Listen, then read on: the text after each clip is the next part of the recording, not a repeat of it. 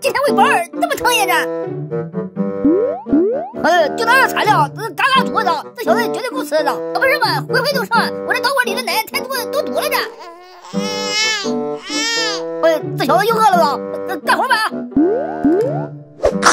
嗯嗯嗯，什么情况？你们这怎怎么这样了？这小崽子肚里回流手腕进来了这。